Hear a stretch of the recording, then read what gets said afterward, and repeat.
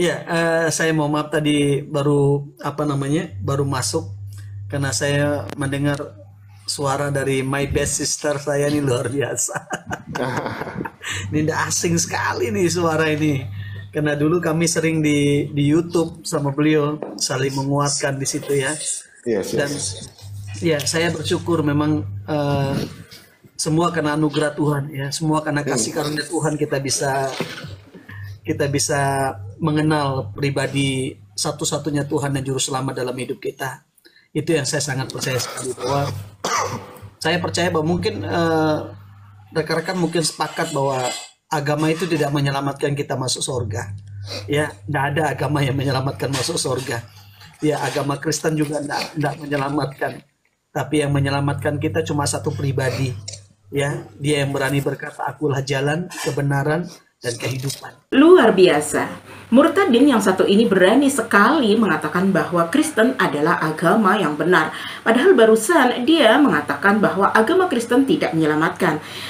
Aduh, kenapa ya Kristen itu gemar sekali memberi panggung kepada para murtadin sehingga mereka berbicara dan ngomong ngelantur tidak sesuai dengan kenyataan dan juga tidak sesuai dengan sejarah dan ayat-ayat dari Bible mereka sendiri. Coba kalian dengarkan ya bagaimana murtadin ini berani mengklaim bahwasanya agama Kristen merupakan agama yang benar.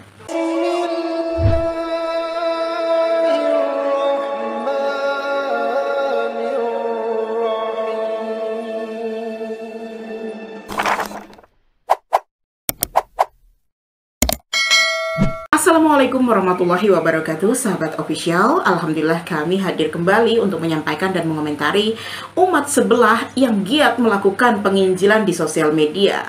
Kali ini mari kita saksikan bagaimana Si Murtadin ini mengklaim bahwasanya Kristenlah agama yang benar dengan segala bumbu-bumbu kebohongan dan dusta. Mari kita simak.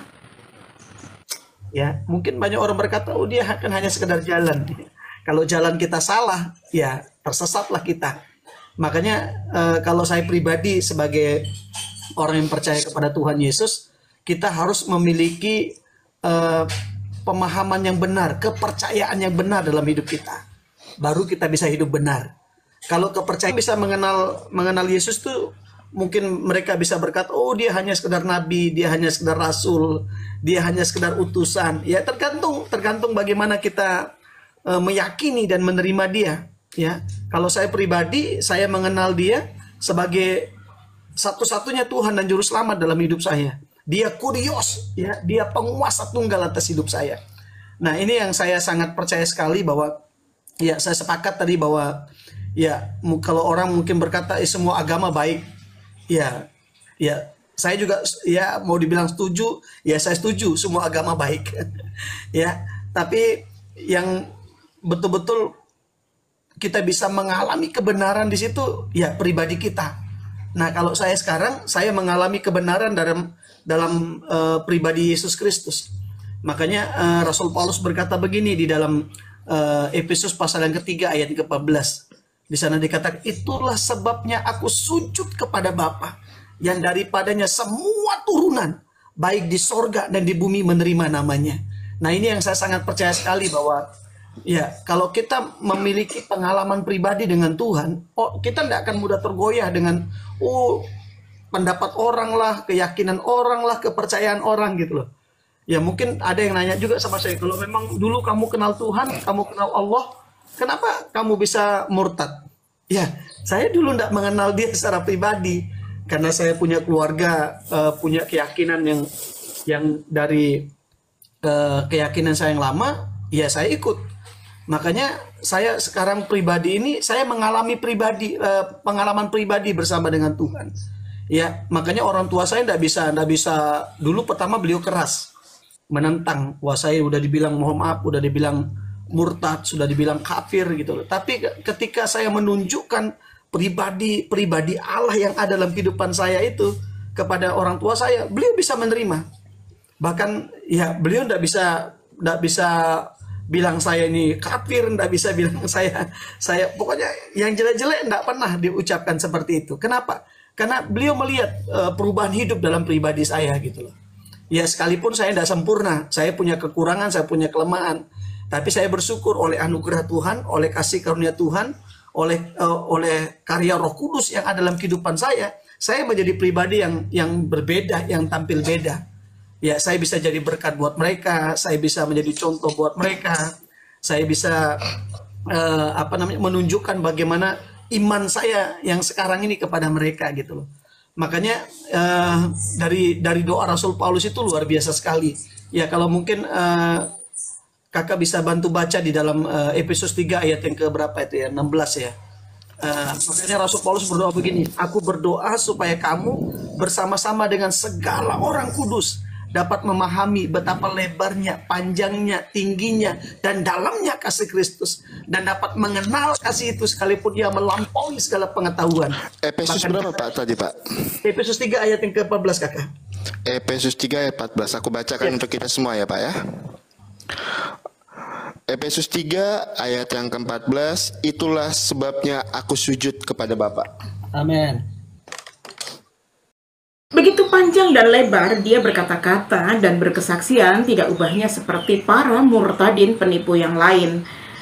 Kenapa kami katakan seperti itu? Tentunya yang pertama karena sejarah dari murtadnya orang ini kami pun tidak tahu apakah karena alasan perkawinan atau sama seperti murtadin-murtadin bodong yang lainnya yang mengatakan bahwa mereka bertemu dengan setan, tetapi mereka katakan bahwa itu adalah penjelmaan Yesus. Sebab ketika para murtadin itu diminta untuk menjabarkan bagaimana wajah Yesus, mereka langsung seperti terkena epilepsi sindrom dengan berbagai dalih dan alasan. Kalau tidak, mereka akan mengatakan bahwa wajah Yesus tidak kelihatan. Nah, yang kedua, dia mengutip ayat Efesus dengan isinya Paulus sujud kepada Allah.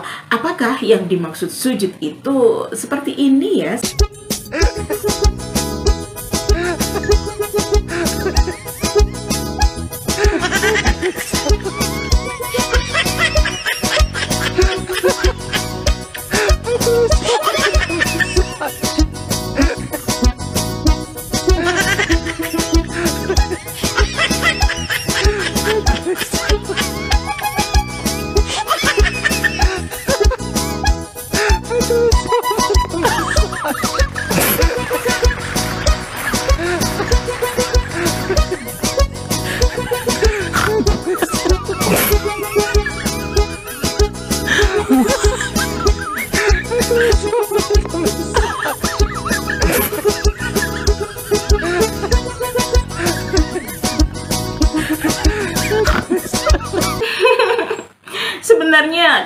ingin mengutip video ini karena ini merupakan pembelajaran rohani, tetapi kami merasa ada sedikit lucu ya dengan argumen atau kesaksian para murtadin bahwa di sini dia mengutip ayat tetapi tidak sesuai dengan fakta realita ibadah yang mereka lakukan di gereja dan konteks ayat yang disembah di dalam ayat Efesus itu adalah penyembahan Paulus terhadap Bapa. Tetapi mereka sendiri justru malah menyembah Yesus. Mungkin karena ada persekutuan di dalam Roma pasal 10 ayat 9. Nah, mari kita lanjutkan kesaksian bodoh dari murtadin odong-odong ini. Uh, boleh saya bilang menjawab doa daripada Rasul Paulus ini? Kalau kita betul-betul uh, apa ya mengalami pengalaman pribadi bersama dengan Tuhan kita tidak akan mudah digoyahkan oleh informasi apa pun. Ya sekalipun orang berkata ah, dia menghina kita kita akan santai stay cool. Ya kalau orang Lombok bilang kita akan stay cool kita akan tenang kita akan santai. Kenapa? Karena kita sudah ngalamin sendiri bahwa dia sungguh satu-satunya Tuhan dan juru selamat dalam hidup kita Nah, ini yang saya sangat percaya sekali bahwa makanya penting buat kita menyadari bahwa Yesus datang ke dunia itu bukan untuk membawa agama, bukan untuk mendirikan agama yang baru, enggak. Tapi dia datang ke dunia untuk memperkenalkan kerajaan Allah kepada setiap kita. Itu yang saya sangat percaya sekali. Makanya saya sering berkata begini, jangan puas hanya sekedar beragama Kristen. Ya, kalau kita puas hanya sekedar beragama Kristen, ya kita akan uh, melakukan rutinitas agamawi dalam kehidupan setiap kita. Tapi kita harus menjadi orang Kristen yang percaya kepada Yesus Kristus. Makanya uh, sorry mohon maaf nih kakak mungkin agak sedikit uh, apa namanya agak sedikit uh, panjang di sini saya saya rindu untuk menyaksikan ini. Kalau Enggak masalah menjadi, Pak. Kalau kita menjadi orang Kristen yang percaya kepada Kristus ada tanda-tandanya. Ya kalau kalau kakak baca di ayat uh, di Markus 16 ayat 17 di sana dikatakan tanda-tanda ini menyertai orang-orang percaya. Ya, kalau kita hanya sekedar beragama, kita ndak ndak ndak ndak akan mengalami eh, tanda-tanda yang menyertai orang-orang percaya, Bapak Ibu. Kira-kira tanda-tanda apa ini ya Pak Murtadin? Pendetamu yang katanya dokter lulusan luar negeri saja emosi dan marah ketika diminta untuk membuktikan tanda-tanda bagi orang yang percaya. Rekam jejak digitalnya masih ada kok untuk iman kalian. Baca kitab suci Anda Markus pasal 16. Saya sudah kuasai kitab suci saya dan, dan Baik kalau Anda menguasai coba baca tanpa melihat tulisannya. Orang Kristen tidak hafal lagi bukan bukan hafal kitab tapi mengerti Alkitab. Baik, baik. Tidak ngerti. Makanya gini, Anda itu mau mau tunduk mau, mau tundukkan saya di di, di presa posisi Anda. Saya tidak mau.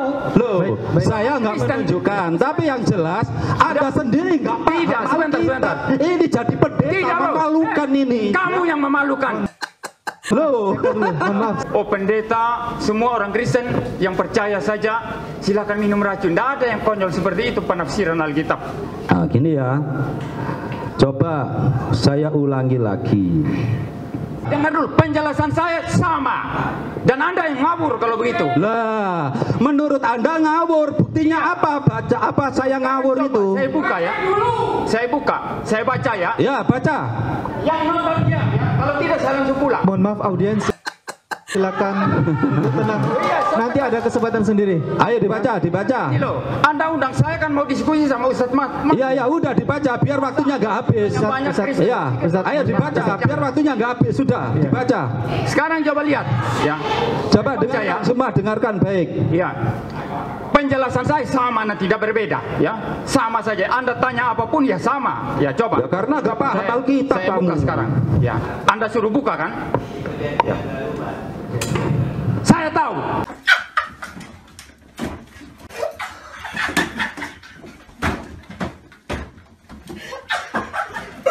Eh, eh, nggak boleh marah, nggak boleh marah. Ini dialog, audiens, audiens. Begini, saya maaf. pembicara, saya pantas jadi pembicara. Ini Anda kalau kayak gitu kan menghina saya. Jadi Anda diam. Sudah, Anda tadi eh, eh, eh, maaf. Sudah, nggak usah marah, nggak usah. Itu adalah fakta dan video kiriman sesama apologet Islam untuk mementahkan murtadin bodoh ini. Pendeta asli Kristen saja emosi dan marah-marah untuk membuktikan tanda-tanda bagi orang yang percaya. Apalagi kamu yang hanya murtad dan jadi Kristen baru kemarin sore. Nah, sudah dua bukti yang kami tunjukkan kepada murtadin bodoh ini. Mari kita lanjutkan.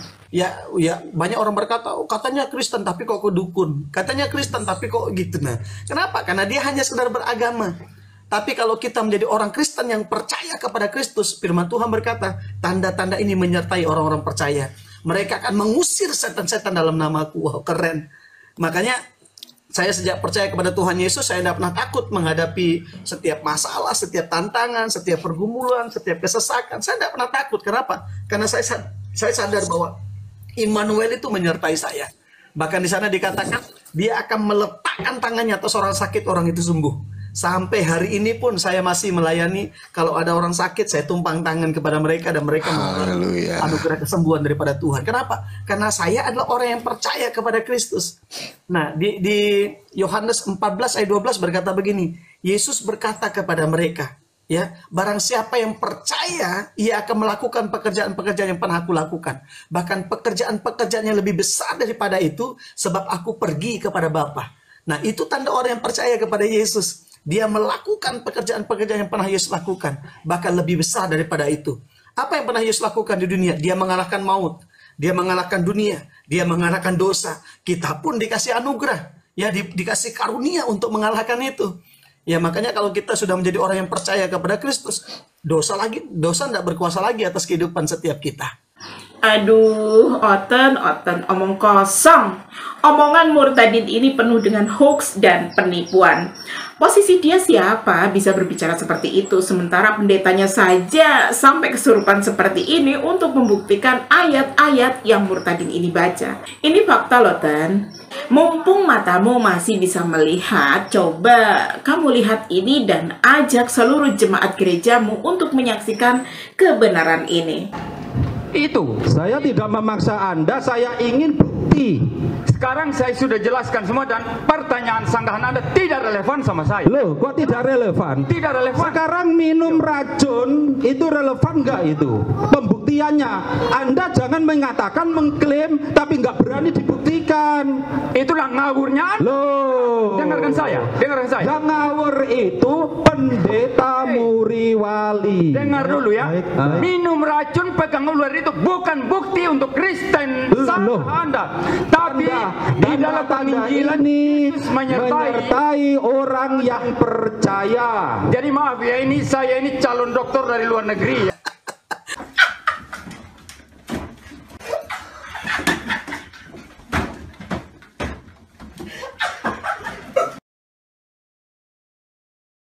اللهم إني أسألك بأني أشهد أنك أنت الله. لا إله إلا أنت أنت الأحد الصمد. لم يلد ولم يولد ولم يكن له كفوا أحد.